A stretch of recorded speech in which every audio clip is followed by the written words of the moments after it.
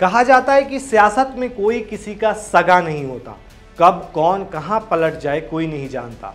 हाल में ही बीजेपी को शिकस्त देने के लिए इंडिया गठबंधन की नींव रखने वाले नीतीश कुमार बीजेपी में शामिल हो गए। उनकी पार्टी, जेडीयू और बीजेपी का अलायंस हो चुका है। दोनों मिलकर सरकार बना चुके हैं। हालाँकि ये पहली बार नहीं है। कई पार्टियाँ बनती हैं और बिखरती हैं। आज बात करते हैं कौन सी पार्टी कब टूटी और कहाँ मर्ज हो गई या किसके साथ मिलकर अलायंस कर लिया। सबसे पहले बात करते हैं महाराष्ट्र की। महाराष्ट्र की बात करें तो वहाँ राष्ट्रवादी कांग्रेस पार्टी, यानी एनसीपी टूटी है। पार्टी के दो फाड़ हो चुके हैं। अजीत पवार एनडीए का दामन थाम चुके हैं। वहीं ऐसा पहली बार नहीं कि जब कोई सियासी पार्टी टूटी हो। देश की राजनीति का इतिहास पार्टियों में बगावत, टूटने, बनने, बढ़ने और बिगड़ने के घटनाक्रमों से भरा पड़ा है। कांग्रेस की ही बात करें तो वो अपने गठन के बाद से अब तक कई बार टूट चुकी है। लेकिन एक समय ऐसा भी आया जब पार्टी के दो फाड़ हो गए थे।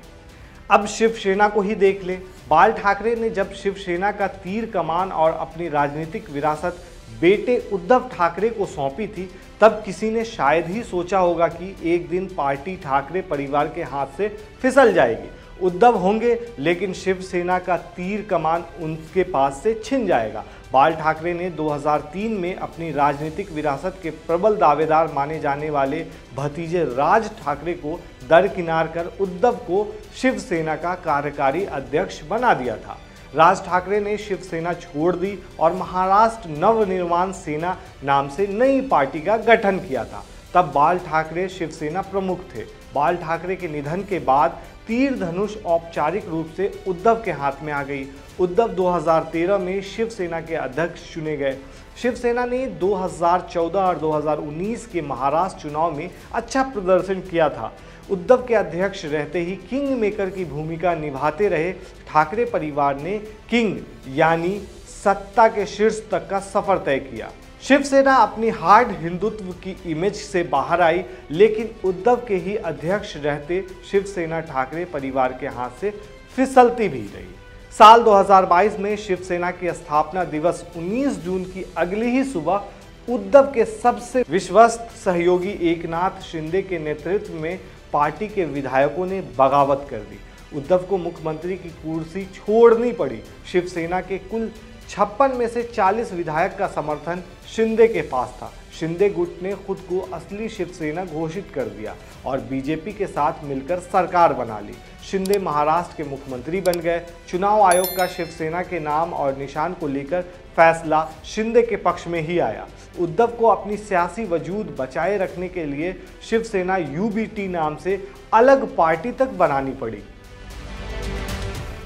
अब बात करें लोक जनशक्ति पार्टी की।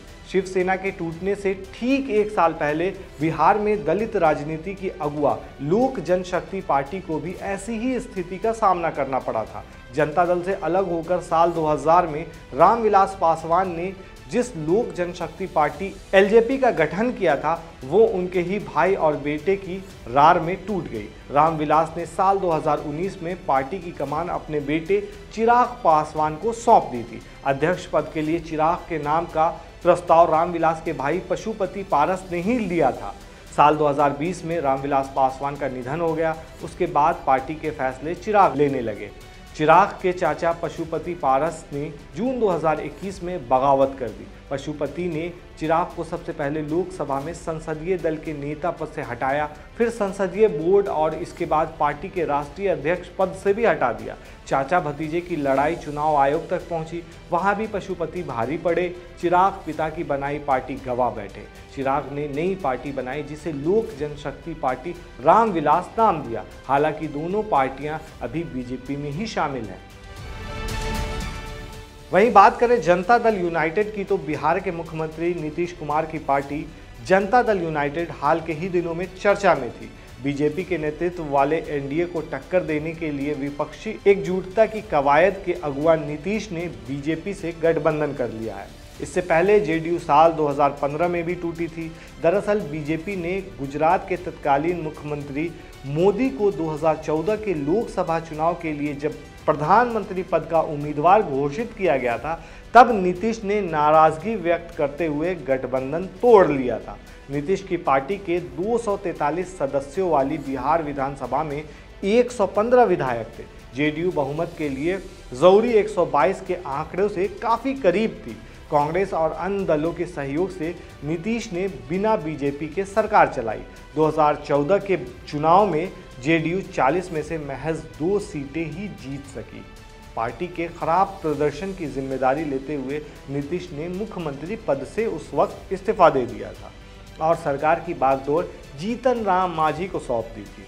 जीतन राम मांझी और नीतीश कुमार के बीच खटपट की खबरें आने लगी। 2015 आते आते बात इतनी बढ़ गई कि नीतीश ने माझी से सीएम पद छोड़ने के लिए कह दिया, लेकिन माझी अड़ गए। नीतीश ने राज्यपाल से मिलकर विधायकों के समर्थन का पत्र सौंप कर सरकार बनाने का दावा पेश कर दिया और माझी को पार्टी से बाहर कर दिया। यही नींव पड़ी जेडीयू में टूट की।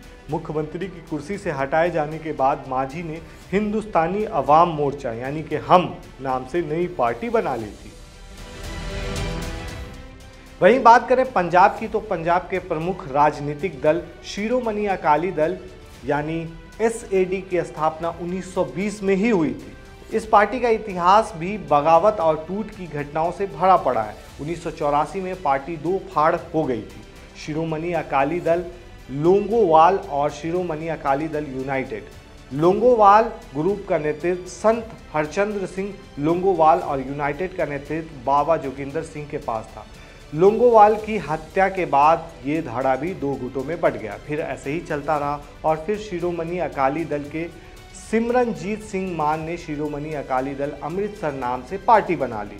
सिमरनजीत सिंह मान अभी भी सियासत में सक्रिय हैं और भगवंत मान के पंजाब का मुख्यमंत्री बनने के बाद लोकसभा सदस्यता से इस्तीफा के कारण रिक्त हुई संगरूर सीट से उपचुनाव में लोकसभा सदस्य चुने भी गए हैं वो। अब बात करते हैं सबसे बड़ी पार्टी, कांग्रेस की। कांग्रेस सबसे ज़्यादा बार टूटी है। पश्चिम बंगाल की सत्ताधारी तृणमूल कांग्रेस, आंध्र प्रदेश की सत्ताधारी वाईएसआर कांग्रेस, महाराष्ट्र की एनसीपी नागालैंड की नागालैंड पीपल्स फ्रंट, जम्मू कश्मीर की पीपल्स डेमोक्रेटिक पार्टी, छत्तीसगढ़ की छत्तीसगढ़ जनता कांग्रेस हो, पंजाब की पंजाब लोक कांग्रेस पार्टी, ये सभी कांग्रेस से ही निकली हैं। कांग्रेस में वैसे तो नेताओं के बागी होने की अपनी पार्टी बना लेने की लंबी लिस्ट है, लेकिन पार्टी आज़ाद भारत के इतिहास में दो बार दो फाड़ हुई है। पहली बार उन्नीस सौ उनहत्तर और दूसरी बार 1978 में। दोनों ही बार कांग्रेस टूटी तो केंद्र में किरदार एक था, इंदिरा गांधी। साल उन्नीस सौ उनहत्तर में कांग्रेस पार्टी का एक धड़ा इंदिरा के खिलाफ हो चुका था। कहा तो ये तक जाता है कि इस धड़े के नेता इंदिरा गांधी को प्रधानमंत्री की कुर्सी से हटाना तक चाहते थे। तो इस तरह से पार्टियाँ बनती, बिखरती रहीं, लेकिन इस बार माना जा रहा है कि सबसे बड़ा नुकसान विपक्षी पार्टियों का होने वाला है। नीतीश कुमार से लेकर एक नाथ शिंदे तक, चाहे मिलिंद देवड़ा हो या फिर गुलाम नबी आज़ाद, सभी ने कांग्रेस से नाता तोड़ लिया है। हाल में ही कमलनाथ को लेकर भी चर्चा हो रही है। अब देखने वाली बात यह है कि लोकसभा चुनाव 2024 पर इसका क्या असर पड़ता है। शुक्रिया।